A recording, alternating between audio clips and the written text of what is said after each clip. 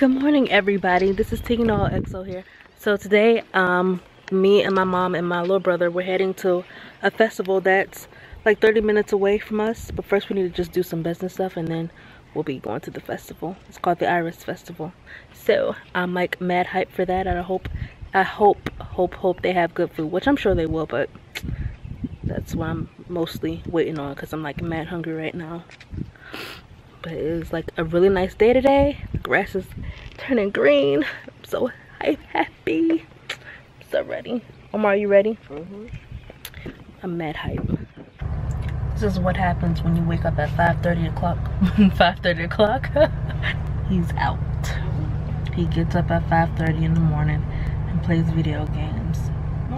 And when it's time to go out and about this is the result. Sleepy as but I'm like mad hungry right now. I hope we go stop and get something to eat before we head to the festival. I really have taste for a funnel cake. Like I really want a funnel cake right now. I haven't had a funnel cake in a long time. And last night I had a dream of, of donuts. I had a dream that I was trying to order me some glazed donuts and my card declined on me. Mom was like, Ting, you don't have no money. And then I woke up. So I really don't need to eat that, but I I want it, so I might just get it at the festival, but my mom will pay for it because I real life don't have no money. I real life don't.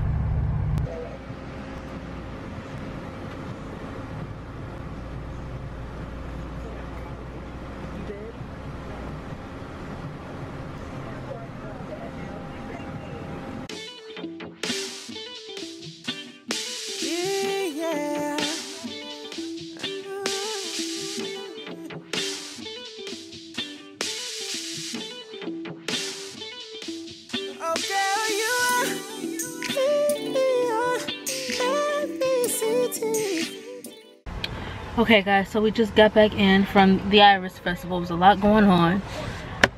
I am just mm. hot. So you ain't hot, it's cold as frick. We just got done walking. It had to be like a mile. It's fucking hot.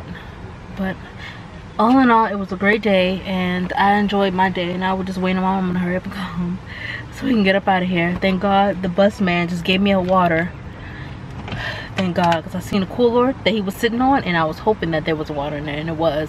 So he up giving me one so that was a plus. So i'm like mad happy. I will talk to you guys later